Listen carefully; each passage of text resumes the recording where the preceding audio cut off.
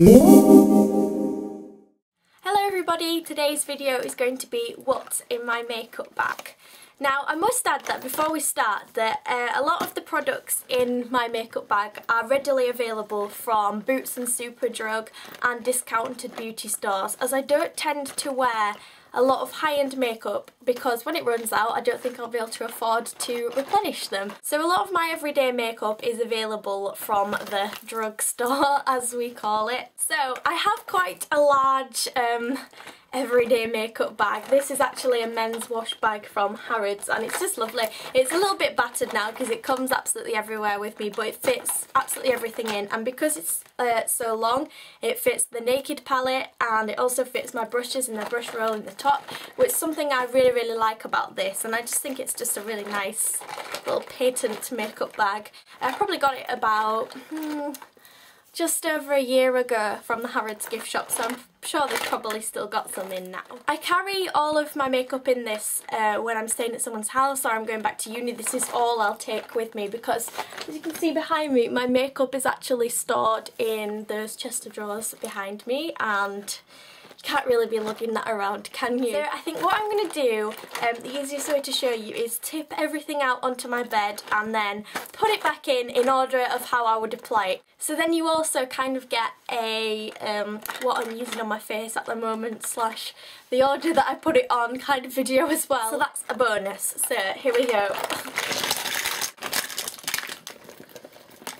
I must say before we start that because this will be such a long video because there's that much stuff in my makeup bag, uh, if I have written a product review about a certain product that I'm talking about, I'll link it in the down bar below so you can go straight to that to see um, kind of a more in-depth and comprehensive review about that product because I don't want this video to be like 40 minutes long or something. I think you'd be a little bit bored by that. Okay, so I usually start by using a primer and this is the one that I go to time and time again. It's the Murad Skin Perfecting Primer in the matte finish. I think I got this, uh, a miniature size version of this product in a glossy box and then I went on to buy the full size product because I loved it that much. Next up it's foundation and this is the kind of controversial foundation, the collection Lasting Perfection Ultimate Wear Foundation uh, SPF 20 and oil free and it looks like this.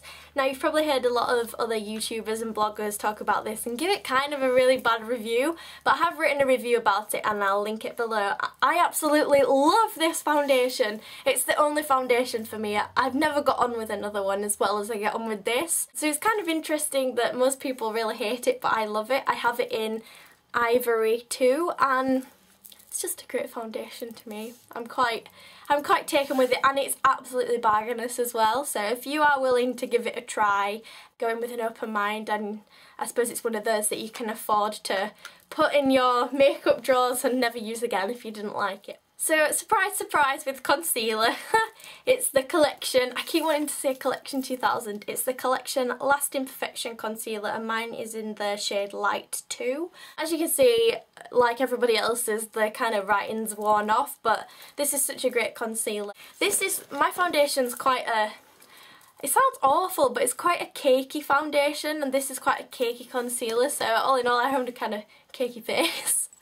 Well, I hope not. So this is quite a thick concealer, so it's I find it really, really good for getting those really juicy spots that are just like really unruly. The next thing I do is my eyebrows, and I must apologise that the packaging on my eyebrow quad is a little bit messy because I've had it quite a long time. It is basically this quad of eyebrow shadows from W7 I obviously used the dark brown one here mixed in with a little of the chocolate brown um, shade and just used that with an angled brush in my brows. and I've been using this for a long time. I picked it up from Xtras and it's called the Brow Bar Eyeshadow. Then on the tails of my brows I used this uh, MUA Intense Colour eyeliner in Rich Brown which um, is actually an eyeliner but it's cool to use it on your eyebrows, I'm sure it's fine. I use this one in Rich Brown because it's got a little tinge of red in it. I don't know how well my hair picks up on camera, it, it looks a different colour every time I film. I'll link the post to the dye I last used uh, in the down bar below so you can see that in True Light of Day is rather red so I use this pencil to kind of redden up my brows a little bit so they're not as dark and harsh against the red. What do we have next? Ah,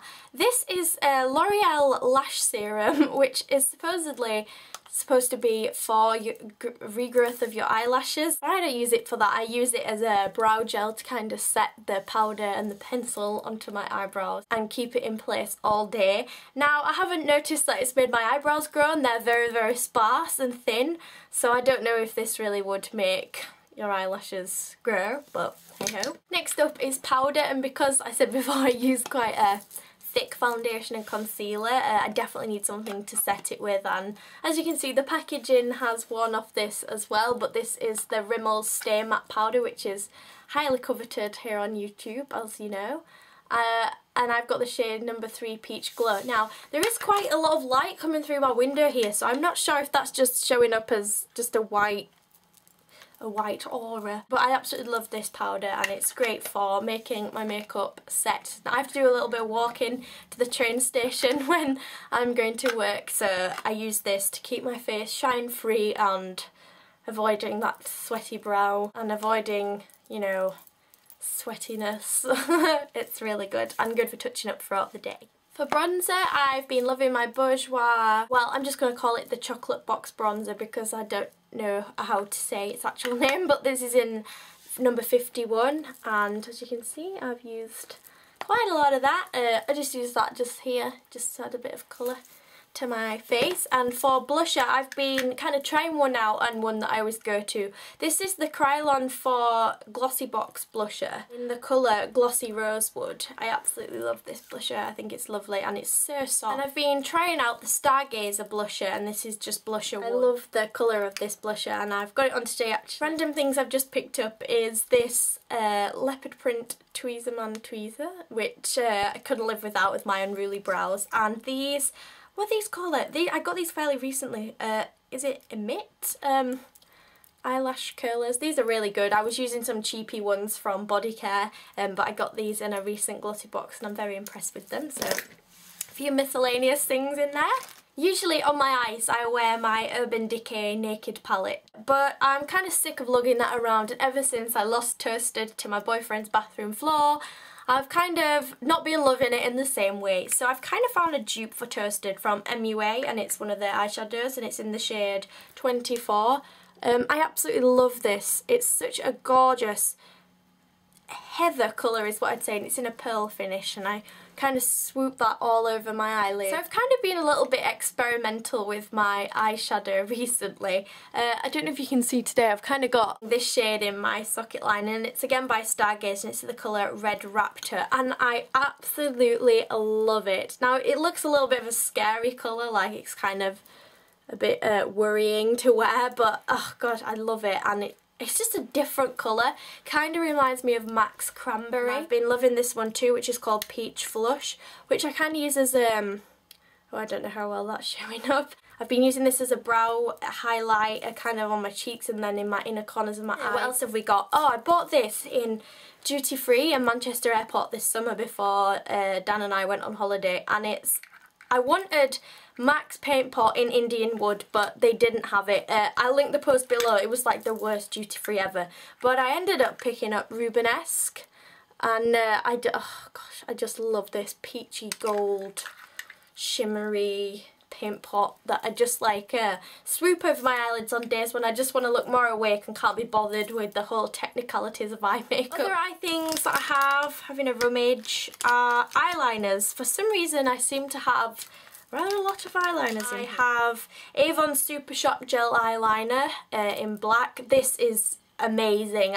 Um, absolutely love this. Such a good eyeliner and stays on all day. It's the Sleek Ooh La La liner in Noir 289. Love this kohl liner. Um, stays put as well a long time. Finally, the eyeliner that I've um, kind of been using more recently is this Jelly Pong Pong 2-in-1 eyeliner and shadow and it's just a black kind of crayon but it's so soft to work with. I have quite sensitive eyes on especially on a morning when I'm doing my makeup and this is just great. The things for eyes are gel eyeliners. This is one by Laura Geller and I love this. kind of you get the gel eyeliner in the bottom and it comes with a little brush. Um, I usually wear that on my upper lash line, got that on today. Other gel eyeliners is MAC Blitz and Glitz, which looks like that. You probably won't be able to see the gold flecks in it, but I love that so much. I'm absolutely loving mascaras at the moment. I'm using three. The NYC Skyrise. Oh, this is just amazing for lengthening. I just love the brush. It works so effectively just getting some length into your lashes. So I use that one first, followed by this one. This is the Gosh Growth Mascara, um, which intends to grow your eyelashes. I don't know if it's been working because I have quite long eyelashes anyway. But again, I love the brush on this and that's great for lengthening too. So when you've used those two, you've got extra long lashes. And finally, to plump them out and volumise them, I've been using the Models Own High Definer Lashed Up um, volumizer mascara which has a very big chunky brush like that which I don't usually like using because it usually pokes me in the eye but it's great for winging the lashes out a little bit. Another random thing I found is the Ocean Femme Makeup Remover pen which just is great for tidying up um, your lips when you're wearing lipstick or if you've blotted some eyeliner or mascara. I think we're finally onto the lips. Very quickly I have a 17 lip pencil in the shade Hot Plum which looks like that. I have a MAC lip liner which doesn't have a colour but that's kind of red too. Um, as you know I kind of like wearing a red I have lip. a Jason uh, Lips Be Healthier lip balm. This is amazing. What's this? City Lips Plumping Lip Gloss. This is amazing. I've written a review on this. This really does um, fatten your lips up quite a lot. Onto lipsticks, the fun part. I have been carrying around all of these ones. So what do we have? We have L'Oreal Colour Riche Star Secrets in 712 which looks like that, kind of a purpley red colour. Love that. We have a Benefit uh, No Competition lipstick, which is another purpley colour, which I love. I have Elizabeth Arden Brick, which I love completely. I've written a review recently on this, which is just a gorgeous brown red. Um, love that for any classy occasion. Uh, I do have more MAC lipsticks, but they're living in their drawer. These are the ones I'm just carrying with me. So I have Ruby Woo, which is just a gorgeous matte red. Girl About Town. Oh, this brings back so much good memories for me. You know when you have a product that just makes you feel happy? That's this one. It reminds me of when I went to London for the first time with Dan and I just love that lipstick. And finally, my most recent MAC lipstick, which is New York Apple, which I got from Duty Free. And that is just lovely. Love that one a lot. Uh, set there is I have Lipcote, which, because I use pink and reds, is a very interesting colour to say the least. I have a um, Figs and Rouge Lip Balm, the Cherry Blossom one. This is great for if I am wearing a red lip. I can just dot a little bit of this on to give it a little bit of shine. And finally, my MUA Pro Base Fixing Mist, which is just great. I love this stuff. Uh, good alternative to the Urban Decay All Nighter Skindinavia finish sprays. Um, absolutely love this. An absolute bargain. I think it's like £3 or something. Whew. I don't know how long that took, but we're back full again. We're back to full capacity.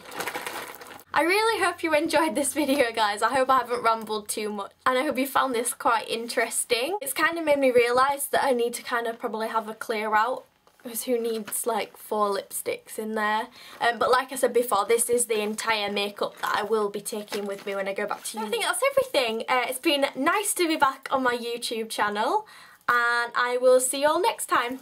Bye everyone!